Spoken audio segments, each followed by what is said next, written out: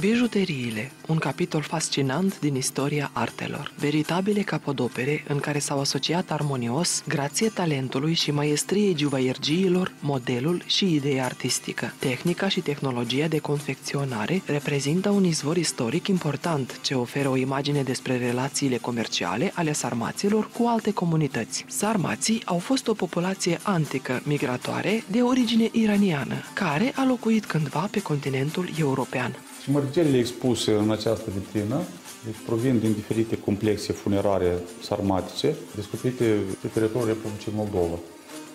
Este vorba despre morminte de incumație, deci fie cercetate prin săpături sistematice, fie descoperite accidental și ulterior cercetate de către arheologi. Aici putem uh, vedea reconstituirea deci, aspectului fizic a unei femei sarmatice, osemintele care au fost descoperite uh, în uh, necropola sarmatică de lângă satul Bocani, raionul Fălești. Cam așa, deci în linii generale ar, ar arăta deci, o salbă compusă din mărgele de confecționate din diferite materii prime, poziționată la gât. Totodată vedem că femeia purta și doi cercei, deci sunt niște cercei simpli confecționate dintr-o bară de metal.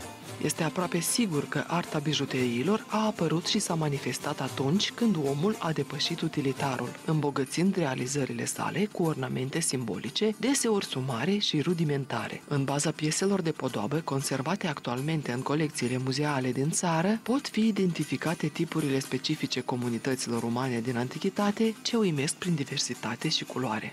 Principalele piese de podoabă caracteristice acestei, acestei populații de origine iraniană, care a migrat în nordul Mării Negre și inclusiv în spațiul protonistrian în epoca antică, deci sunt mărgele de diferite forme, sunt mărgele simple, mărgele polifacetate, deci ele sunt confecționate din uh, diferite, diferite materie primă, carneol, sticlă, chiflimbar. Mărgele erau confecționate inclusiv, inclusiv din sticlă deci, colorată, uh, din mormântul de la Calmaza, deci avem expuse aici mai multe mărgele de, de sticlă care au diferite nuanțe de albastru. În dependență de materie primă utilizată la confecționarea rol, respectiv au și o cromatică diferită. Numărul sporit al vestigiilor sarmatice descoperite în mormintele din spațiul prutonistrian a direcționat specialiștii spre o nouă abordare a vieții sarmaților, care la rândul său era reflectată relativ slab în istoriografie. O mare parte din piesele de port și de podoabă au ajutat arheologii la reconstituirea constituirea imaginii asupra reprezentărilor din lumea credințelor, a esteticului acestui popor și altor laturi tangente ale existenței lor. Bijuteriile, fiind adevărate capodopere ale artei decorative aplicate, au dăinuit și vor dăinui peste secole și civilizații, drept mijloc de înfrumusețare, tezaurizare și colecționare. Multe dintre ele se află încă în așteptarea cercetătorului său, fiind o mărturie incontestabilă a tendinței civilizației umane spre eleganță și frumusețe eternă.